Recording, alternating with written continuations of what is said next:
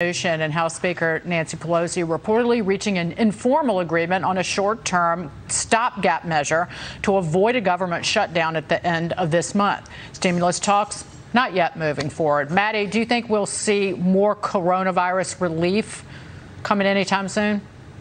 Oh gosh, Dagen, I hope so. Let's be clear. This was small ball getting the government funding question off the table. Americans still need Congress to step in to provide relief and certainty as we wade through the next couple weeks and months of a lot of uncertainty, not just economic, but also public health and, of course, political as well. We've got an election coming up. But the states, James, are crying hard times. They, despite the fact they got 240 bill. Um, billion dollars in the last rescue package, I think. They want a trillion dollars more, roughly. But it turns out, as the Wall Street Journal editorial page wrote, revenues coming in above expectations, most, most recently in places like California.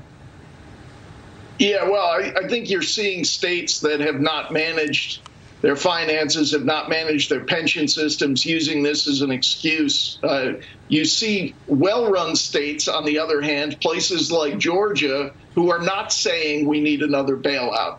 Uh, what we need, the relief we need, is fully reopening society again, especially schools. That is the best economic stimulus plan we have available opening up restaurants for indoor dining. I think people were shocked, not just uh, Nancy Pelosi's you know, rules for thee, not for me elitism, but the fact that until recently you couldn't go into a hair salon and get your hair done. Yeah. You still can't. You got to do it curbside.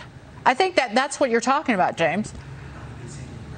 Yeah, and I, I think that was a really it was an interesting moment with the speaker because I think it at the root of it it revealed that she doesn't think the pandemic is the the massive civilization busting event that she and other politicians say it is.